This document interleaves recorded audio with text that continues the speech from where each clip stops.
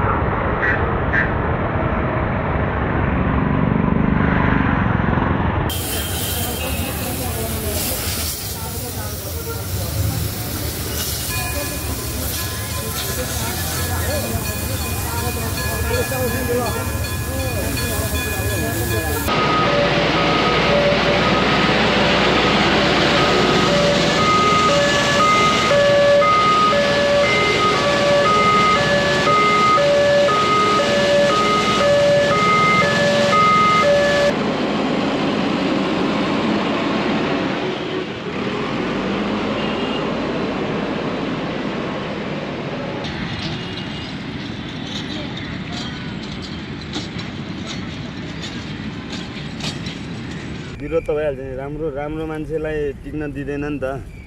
त्यही हो अब राम्रो काम गर्दाखेरि पैसा खान पाइँदैन घुस खान पाइँदैन अनि त्यसपछि विरोध त भइहाल्छ नि। काम त एकदम राम्रो छ एकदम राम्रो अब पहिला यस्तो कामहरू हुँदैन थियो। कति मान्छे बेरोजगार हुन्थ्यो अहिले बेरोजगार भयो नि। अब हाम्रो बालनसर आएर चाहिँ सबैले रोजगार भएको छ सबै ठाउँमा चाहिँ मठ मन्दिर होइन अब यो धारा सम्पदा सबै चाहिँ नि एकदम सरसबै हराभरा भएको छ हुँदै गएको छ र अझै पनि गर्न दिएका छैनन् अझै नै राम्रोसँग गर्नु गरेपछि हुन्छ। सानो एकदमै साँघुरो बाटोमा ठोकिँदै हिँड्नु र खुल्लम खुल्ला अलि ठुलो बाटोमा हिँड्दा उसलाई पनि ए यहाँनिर चाहिँ राम्रो छ है भनेर सम्झिन लायकको ठाउँ रहन्छ। न्यु रोड विशाल बजार अगाडि चाहिँ राम्रो छ। यहाँनिर चाहिँ खुल्लम खुल्ला छ भन्ने उसले आफूले देख्छ।